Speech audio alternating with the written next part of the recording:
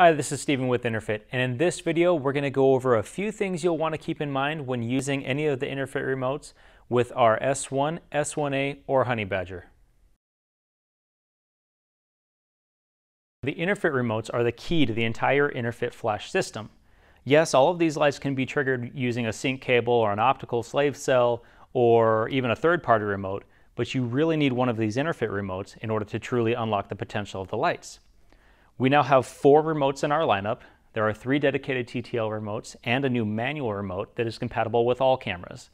And all of these remotes can be used with the S1, S1A, or the Honey Badger. But they all have a few differences, and that's what we're going to go over now. The three TTL remotes are dedicated to a given manufacturer.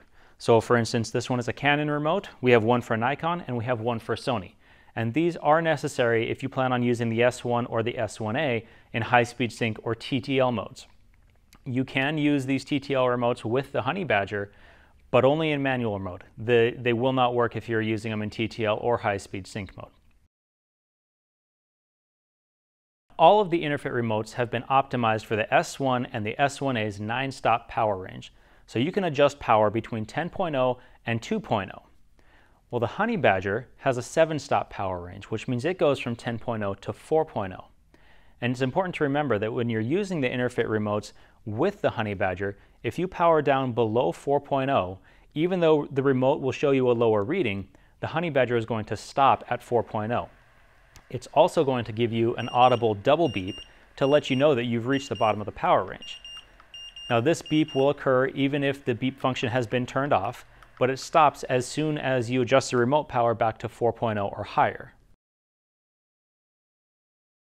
Now the TTL remotes have eight different channels that allow you to work in close proximity with other photographers without interfering with their strobes. Now although the Honey Badger has 15 channels, if you're using one of the three TTL remotes, you'll only be able to use channels 1 through 8. The TTL remotes have three control groups, A, B, and C. These allow you to independently control groups of lights without affecting the rest of your setup.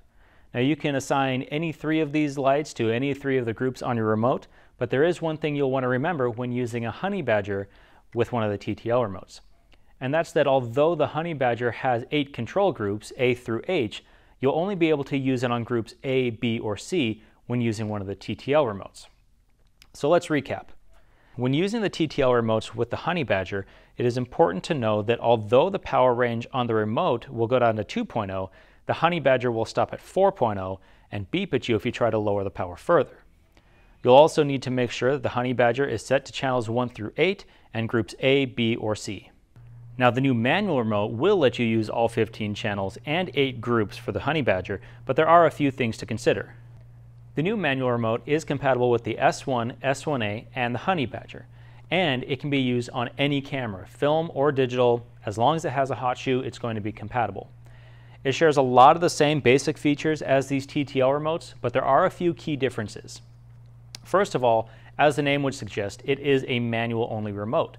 So if you're using it with the S1 or the S1A, you're not going to be able to use TTL or high-speed sync but you still have access to the other features such as radio control, a 9-stop power range, and battery power on the S1 if you want to go out on location.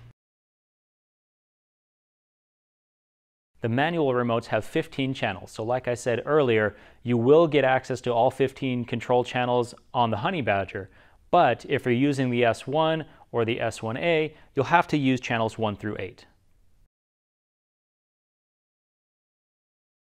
The same goes for control groups.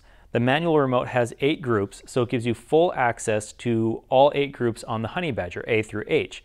But the S1 and the S1A only have three groups, so you'll need to assign those to groups A, B, or C. Now there are a few additional features on the manual remote. First is auxiliary power through this micro USB port. This lets you power your remote through an AC power source. This is great for long-term or even permanent remote fixtures because as long as the remote is plugged into an AC power source, it's not going to shut off, even if it's not being used for a while. Uh, plus, you won't have to worry about changing out dead batteries. The second feature on the manual remote is the 3.5 millimeter sync port. This lets you connect it with other remotes in order to integrate your Interfit lights into an existing setup.